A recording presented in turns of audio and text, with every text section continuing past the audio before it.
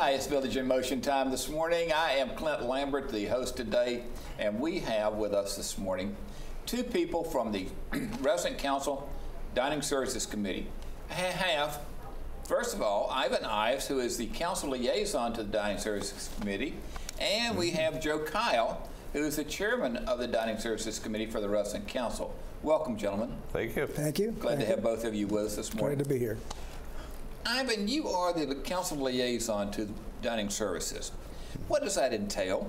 Basically, just trying to do the communication between the, uh, the committee itself and the council.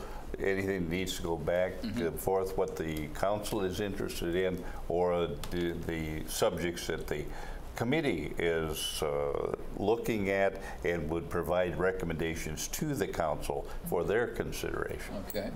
So you are truly a liaison. I mean, you truly get information from one and take it to the other. Play Western Union. There you go. Well, he uh, he's holding my hand actually. actually. So, so what, what do you see him doing, Joe? Well, like I say, he uh, uh, he is uh, brings a, a peaceful, calm plains of Montana approach to uh, county, counteract the city kid that I am, I guess. And I get into trouble, he bails me out. Uh, Okay. yeah. But that's it's been a good team, a good good working relationship. Joe, you have been the chairman for what, two years now? No, just one year. Just one year on dining services. But I have been on the committee for about five years. Okay, all right. That's the reason I was confused in regards to right, right. I have been around it a while. Okay. And, and Ivan, you have been liaison for, This is the second year. This I was the on the year. committee for one year before. Okay. So about three years I've been working. okay. And how many people are on the committee with you? We have a little more than 20. It's a big committee, uh, but they're pretty active Okay. and faithful in attendance, and uh, we couldn't get the job done without their help. When you say get the job done, you got 20 people, what does the job entail? Well, um, it, it depends in part on the month. Like coming up in October, we meet on the second Thursday. Okay. But depending on the month, that can be the eighth day of the month. Mm-hmm.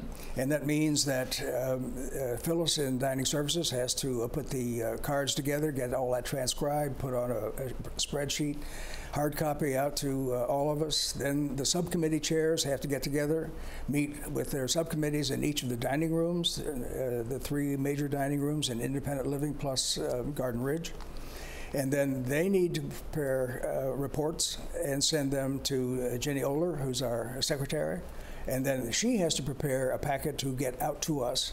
And in a month like October, all that has to be done in a very few days. And it cannot be done without sometimes overtime on the part of Phyllis and the rest of us. I'm going to slow you down here one second. That's a heck of a lot of information right there that has to Mm-hmm. transpire. You have, what I'm hearing you say, you've got 20 people. You've got three committees within those three, Uh, three subcommittees? Four, actually. Well, actually, we have four. Okay, Um, what do we have? uh, one for each of the uh, dining rooms and independent living, and one for uh, this year. I think it's beginning. Um, at least we have resurrected it. uh, One for um, uh, Garden Ridge. Okay. And then, in addition to that, we have what we call a menu harmonization committee. That's really um, uh, a title of a committee. Their job is to um, try to be sure that um, information uh, regarding the, what's in the food, uh, the, the people of inter- have a great interest in what's in the food, that um, what information we get is accurate, is timely, uh, and that's their job, and uh, they've been uh, doing a hard, uh, hard work with that. And then the other, it's sort of an informal committee of one. Uh, Marie Lee has been very interested in acoustical issues and uh, the difficulty of hearing that some of us have, in, especially in the public spaces like the dining rooms. And uh, so we're focused on that issue as well. Okay, so four committees, 20 people, got them divided up in those different committees, Yeah. the subcommittees. Um, and then you have Marie Lee doing her hearing thing, which has re- really been wonderful. Yes, I mean, she's done a worked very hard superb job with her hearing support groups and everything. the people on the subcommittee, they're appointed by you as chair? Uh, No, they, uh, they're self-appoint. If, if, uh, Okay. what we do at the beginning of the year is to ask uh, if you primarily uh, eat in Woodland Skies, or in the Jefferson, or in Fireside, or in the cafe, and many residents here uh, predominantly eat in one of those 4 then uh, you would be most knowledgeable, and your information, your input would be most useful if you were serving on one of those uh, subcommittees. Okay. And uh, we have um, chairs for each of those committees, um, Anna Dean and uh, Susan Gerhard, um, Ellen Sinclair, Barbara Kauke, uh, Ann Andrews. Um, and uh, the, the dietary committee, the uh, menu harmonization, that was um, uh, Jim Wamsler and uh, Zoe Parker. Okay. And all these folks are very busy and very helpful. Yes. So they all work together. They talk about what's going on in dining services within their Yes. respective dining rooms, uh, restaurants, as we call them these days, or cafe. They, they, they typically meet uh, amongst themselves and sometimes at that same time with the dining room manager, the person who is in charge of the front of the house, what we all see. Okay. And also with the chef responsible for that dining room. That's the back of the house, as it is typically called. So each month they meet with those two individuals. uh, that's right. As And- well as themselves. And, and they, uh, all of them have uh, access to the uh, comment cards for that dining room for that month or that, that time period. And they discuss issues um, and uh, what uh, are the potential resolutions, what are the potential possibilities, uh, some of the things we can fix, some of the things maybe we, uh, we can't fix. Okay. Uh, when we get, and this is a very common example, uh, one comment card says the beans are too hard, they're not cooked. The the next next comment card says the beans are too mushy. Uh, Too, uh, well, that's how, how we're going, or too too much salt, or too much seasoning, too little seasoning. Uh, these matters that have a good bit to do with personal preference and personal taste. Um, uh, the chefs try very hard to strike sort of down the middle, uh, and But it's kind of like the rest of America, always split, right? Yeah, it it's is- it's- 50-50 almost it's in not, regards not to anything. easy to please everybody all the time. Right. That's On any, about any given month, we'll probably get on order of about 600 comment cards. I was going to ask that about that. come in. That- That's overall, right? overall, and then divide those up so that the, as the subcommittees meet with that uh, uh, dining room, Mm-hmm. they look at the ones specifically from that area. And many times, the uh, manager and the executive chef have already addressed the issues by the time that we actually get to meet them. So they're quite responsive uh, on the, to the cards. Speaking of comment cards, they, they come in, we fill the- the comment card out, we put it in the box, okay, or we hand it to the manager or whatever, right? That comment card then goes to whom? It is uh, then in the dining room. One of the people takes uh, puts it on a kind of a spreadsheet, so they have that. Okay, within the And dining then- room. Yeah, and then tho- those are fed into the dining service office. Okay. And from there, then then Phyllis in the dining service office distributes to the appropriate people, so that they have So she, copies she of the goes over them, types them out so they're readable? that's right. And That's that right. information then comes to, Right. Back to the dining services and it goes to each of the subcommittees, right? That's right. Okay, and that's then right. they discuss what's. They discuss the issues that, um, uh, and uh, most of the cards are signed. Okay. Uh, That's not a requirement, but it's certainly a preference because if we know, or if the chef or if the dining room manager knows that such and such has a problem, that Mm-hmm. um, then they can approach them directly. And Okay. uh, did we get it resolved? And uh, how could we do it differently the next time? And all this sort of thing, which you can't do if you don't know who wrote the card. In regards to resolution, does something get resolved in a day, a week, a month, or what, how long does it typically take to get some of these issues resolved? Well, sometimes they can be uh, resolved right away. If, Okay. if uh, you are not satisfied with the entree, it's, it is not what you expected. Right. Uh, and if you contact someone right then, um, sometimes your server, sometimes the dining room manager, Mm-hmm. then they'll replace the entree. Uh, another of the same that's uh, better, a steak that is not gristle and so Right. forth, or maybe switch to another entree. Um, Or if there are particular things you'd like to have on the menu, Mm-hmm. that might uh, need to wait until the next cycle of Ah. the. Yeah, so that's- that that's true. may take a month or two, depending on what the cycle is in that particular dining room. With the cycles, and, and we have the menu cycles now, Yeah. right? What's the length of a cycle with a menu? Does it vary from dining room to dining room, or Well, in it- Woodland Skies, it's a month. it's a month? Yeah. Okay. Yeah. Um, so every month, then the entire menu changes, right? No, there are changes to it. Oh, there are Changes. changes to it. Okay. All right. That's Okay. about- Uh, in Woodland Skies, I know they do the weekly specials, and Mm-hmm. that changes every week. Okay. And I know at Fireside they do a daily special that changes every day. That's not reflected anywhere Mm-hmm. Yeah. Mm-hmm. other than at the dining room. Um, so you don't know until you get there what, what's going Yeah. on. Um, does Jefferson doesn't have specials? They just do their regular thing, right? They kind of uh, rotate on a weekly type of basis. Okay. Uh, They basically have about a, a week's menu, and that kind of repeats. uh, So Okay. each of them rotate in one way or another. All right. Yeah. And, and I, Yes. it, we tend, as a matter of habit, or a matter of preference, or maybe because it's the closest one, and maybe Right. mobility uh, makes it preferable to eat here, but we are encouraged to eat in any of the three dining rooms. Right. And there are times when uh, I'm a fond, fond of Mexican. Uh, uh, they don't do much in Woodland Skies, never have. I uh, have a frequent conversation with uh, Chef Mark about that, but they did Mexican last week in uh, Jefferson. I went over to Jefferson. Sure, sure. And um, the idea is not to try to have three dining rooms providing the same food, Right. um, but rather choices. And sometimes flavors are a little different. Maybe this uh, one soup is uh, like so here, but a little different over there. And uh, that, that's that's. Uh, there's that's a positive side to that, and not not well. It's what's wrong here. But Does Dining Services Committee have any input in regards to that of saying, you know, the residents, you know, we, we really need to have uh, more differences as opposed to more similarities, or um, things need to be rotated more often than they are rotated? Uh, does Dining Services, Well, there's a couple of, a couple of different ways. One is with the subcommittee meeting with the uh, Uh-huh. manager and the uh, executive chef. It can happen at that level. Okay. It can also happen as we talk in uh, the full committee Mm-hmm. and we have the dining staff there.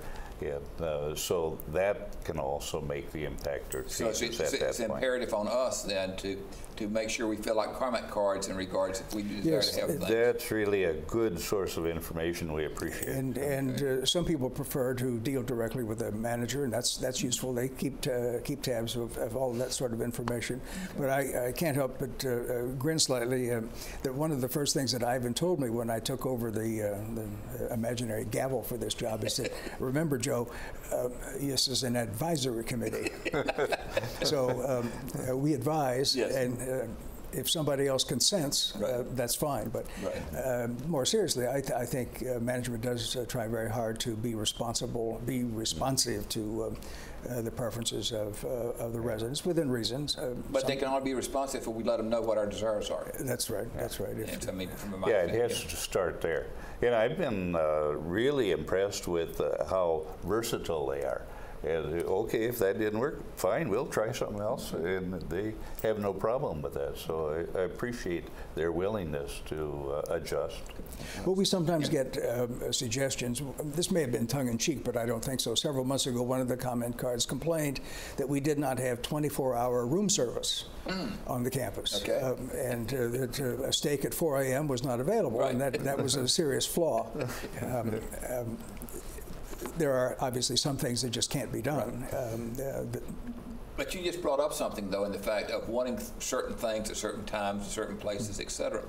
If we do not, those of us that live in independent living got tired of eating in independent living, can we go over to Garden Ridge? I know that some of the Garden Ridge people come over to Fireside or the cafe. Yes. I've, I've noticed that. Yes. Uh, can we go over there and eat, or you know? No, no, you you are free if you have a spouse or you a friend, uh, somebody on your floor that uh, you were pals with.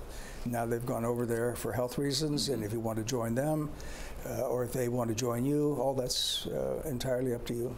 But it wouldn't be something where you would just individually just go over there whether you had somebody there or not. Um, I don't know that that happens, but Okay. yes, it could happen. Okay, because I know that people from over there come over. Yeah. I mean, People from Garden Ridge come over to independent living and eat without eating with someone else. I mean, that's right. Yeah, There's- we, there's we're hoping that uh, on the independent living side, be, between three dining rooms, a cafe, and a bistro, that somewhere in there we could Mm-hmm. Exactly. find what Sure, okay. would satisfy. Yeah. You mentioned the, the different dining venues that we have, and all five of them in independent living and, and the one in, in Garden Ridge. The cafe, the supervision of the cafe, the input to the cafe, there is a subcommittee for the, Yes. This year, we, uh, at, at uh, request of folks that eat over there uh, in, in, in the Fireside and or the cafe, said that there, there's one kitchen that serves both, but the flavor of the, the environment, the Right. atmosphere is different, and the, uh, it would be wise if we could get input separately. And so we did that this year, and Oh, we okay. have uh, a cafe committee and a, a fireside dining room committee, uh, and uh, we receive input from both of those committees every month. Very good. And the, the way it is being served, where you have the fireside that's basically sit down and be served, the cafe basically a buffet style and whatnot. So they're different uh, things. And just the traffic control in Yeah. either one is different. So. Okay. The committee doesn't just do menus and, and comment cards and meetings. You guys do some other things too, right? You- You're looking at, at acoustics. Um, Yes, we, uh, our committee this year has been focused um, particularly on um, two or maybe three issues um, that fit within the goals but are more, uh, more broadly based, I think. And one of them is the issue of acoustics. Uh, the ability, uh, 75% of us of our age group have lost some of their hearing, sometimes a great deal of it. And that creates problems, especially in the group setting, in a big room where there's reverberation, echoes, and all of that. And uh, so we're asking, uh, and we're glad to know that management is included in the uh, the renovations that are underway or will soon be underway, generally over at the fireside. Oh, okay. Um, We'll include an acoustical report from a professional, and will presumably make some recommendations. And we, the Dining Services Committee, are going to recommend to the council that they pay attention to that uh, report and recommend to management that if there's some interesting, some cost-effective, some reasonable recommendations, uh, Right. that uh, that management uh, implement those, and that um, they be, um, where appropriate, um, uh, applied in the other uh, two major venues in Hunters Crossing and uh, Village Square. so then we should be better able to hear our uh, table mates then. That's the idea. Okay, in That- that- regards that- to it. that's- Okay. that- Yeah, that's you, the you idea. see it because there's always requests, especially I see it in, in Woodland Skies where it said we appreciate having more uh, two-top or four-top tables. Mm-hmm. right. But there are some folks that like to be in a group, and so you have a few that can handle six or seven. Right. But a lot of times the smaller tables, it's easier Oh, much for easier, conversation. Much easier. It's more difficult uh, in Jefferson. Simply there, how do you handle 500 people? Right, And- And so you can't have too many small tables.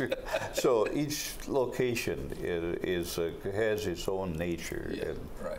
There's an atmosphere in each one of them. There's, there's, a- there's a Very culture in each one, it, it Right. seems like to me, almost. And he- he's mentioning 500. I, it, it, this is an opening to. uh, We have to serve 1,500 meals a day, 45,000 meals a month. Um, Wow. In the uh, all, all of the dining rooms. Um, So, so dining service, the, the kitchens, the dining services, dining services, period. It's a serves big 15 operation. Serves 1,500 meals a day? yeah, that's right. that's Wow. fine. And and what makes it interesting and difficult and a challenge for the dining services for the for the uh, the chefs is that uh, we don't know. Uh, where those 1,500 people are going to go. Are they all going to go to Woodland Skies tonight? Now, that doesn't happen, of course.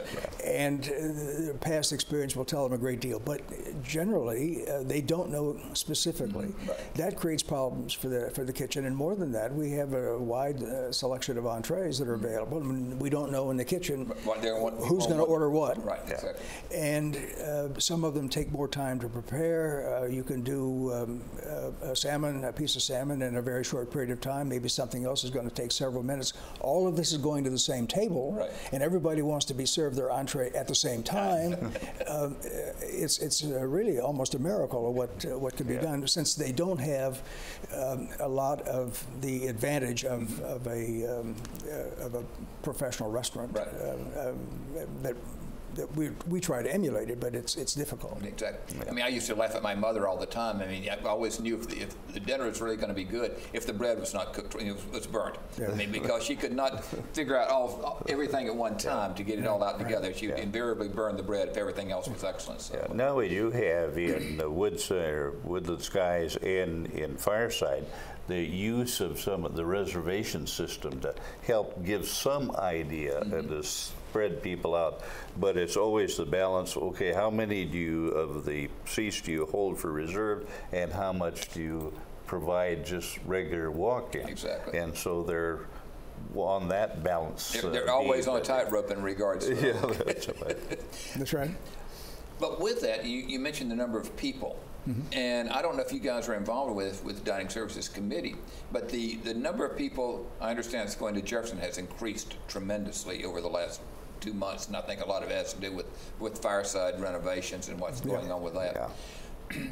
I understand that they're now down to doing uh, stars or whatever on people's hands uh, prior to them going in to try to expedite things. Have you, heard- have you, I'm not familiar with the, Okay. uh, the That is, specific. that is. Depends an awful lot uh, on when you decide you want to eat. Mm. Uh, in the early portions at Jefferson, the seating can be done rather easily. and that's kind of true of all the restaurants, yeah, right? and once you fill that up, then you can figure it's going to be about an hour mm. before those seats open up again. Okay. So you can kind of think, okay, when do you want to eat, and are you going to have to wait, or you want to mm. just wait a little bit and go a little later? But you can kind of figure out what time of day works best for you. Right. It is, um, Again, I, if we wanted to eat at 3:30 or at at 9:30, we could solve the problem. Right. Uh, But nobody wants to do that. And uh, we don't have servers available at 3:30 because they're in school. Right. And we don't have servers available at 8:30 or 9 because they're students living at home. They've got to do their homework and what have you. And, and they're promised, uh, the parents are promised when they come to work here that they're going to be released around 8 o'clock and Right. not, not later. So we have a pretty uh, compressed section, and we've changed the dining system in recent years uh, to offer more choices. Mm-hmm. Again, this is responding to a changing population. Right. When uh, this place was built 20 years ago, or designed 20 years ago, built 15 years ago, why um, the choices uh, uh, were not that were offered by the Erickson complex weren't what they are today. Yeah, much different. The more choices, uh, the more complex it becomes in the kitchen, the harder it is to uh, uh, put it all together, and uh, makes it more difficult to um, um, serve, especially when you have a compressed uh, period of time, roughly four to six, uh, to, to feed a, a, a big population. Yeah. Joe, you, you've mentioned the comment cards and all the things the committee does with, with uh, looking at those and making recommendations and, and advising. You've got acoustics going on, a project with that. Any other items that the committee's addressing? Well, we're interested in also the, the diet. Um, uh, we have a small population here um, that have serious allergy responses if they get the wrong foods, Oh. peanuts and Right. um, uh, gluten and, and, and so forth. But beyond that, we have a very large population of folks that have uh, heart problems, high blood pressure, um, um, diabetes or pre-diabetes, and they need to know uh, what's in uh, the food. What they, uh, if they don't have the information, they can't avoid it. So they need to know the nutritional value and, Right, and right. those things, right? In, independent living residents are responsible for knowing what they can eat Right. And what they shouldn't eat. Um, if they need help on that, by the way, uh, we have dietitians on campus who are assigned to help help the assisted living population. But these folks are available for individual con, uh, consultation. Uh, they're professionals, and that's a fee for service uh, to independent living people, but arranged through the dining services office. If you need, or if you want, uh, uh, sit down face to face with a dietitian. That can be done here on campus. Okay. But what's happening now, however, is that we have a dietitian uh, in the corporate office that will help. Uh, the independent living population across the whole uh, Erickson uh, complex. Okay. And that's a good move, and we're very happy to see that, and we're going to recommend that the council um, applaud it. Uh, however, uh, we need um, to know a little more about what the scope of work will be for that person and what kind of support they will have, what sort of software, what sort of IT input, because information in the diet realm can change almost from day to Right. day to day, and we need today to know what's on the menu tonight so I can know whether I can eat it or not. Um, or if I can eat it, a big portion, regular or small or whatever, and information for today that comes to me tomorrow is no help. Uh, it's like a weather report. Um, it better The day come after. today. the day, a day after weather report is no report at all. And so, uh, what sort of support that that person in in in, uh, in Baltimore will have is quite important, I think. And our committee has done a really good job, um, uh, Jim and Zoe in particular, in documenting that information available on my uh, our net nutrition, my My nutrition, nutrition, right? um, sometimes is out of date, uh, incomplete, uh, inaccurate, um, and I don't think that's willful or deliberate in any way, but rather um, maybe we just don't have the uh, uh, the support staff to get that all But it's inputted. something, it's something that needs attention. Right, and and uh, hopefully the person that's going to take that position in Baltimore will uh, have the desire and the means to um, improve uh, and give us a better and more timely uh, set of uh, information. It's- I'm not sure if that, every- that helps everybody. And I, I, th- I I applaud the committee for taking that on. I'm not sure everybody understands what my nutrition is, and just we, we've got a minute left here. you know, and my nutrition is, is online. Yes. Uh, so you have to go online on, on the computer. to the Village Bridge, you can get at it from, Okay. from there. All right. Yeah. And we can find everything about. That- well, that's that's the point. Yeah. The, the, the, the uh, presumption is everything is there, that it is accurate, that it is timely, uh, and um, complete. Um, and uh, my committee has uh, repeatedly, in conversations in our committee meetings with uh, with Michael, uh, pointed out that uh, it doesn't that isn't always quite the case, and uh, Michael's best efforts um, don't quite get it done. And, and again, I say I, I don't I don't see any serious problem here. Simply, we need some probably support staff to, to help him out. Uh, but Yeah. it, in theory, it's all there. In practice, it isn't. All right, And sometimes they, they've got a piece, they have the, the recipe bank that they have with about Mm-hmm. Right. 5,000 recipes and whatnot. And it is the one that on My Nutrition, the recipe that they're using for that, because that can make a difference. Mm. Right, So exactly. how do we get those together closely? Okay. So anything we can do helps anyway. Very good.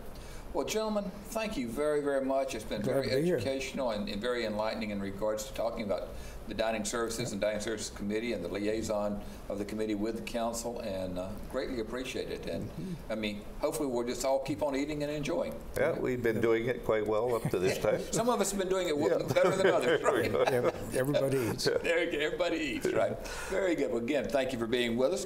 Folks, don't go away. We've got a roll in here, coming in here for a couple of seconds, and I'll be back and talk about some announcements we've got. Stay tuned.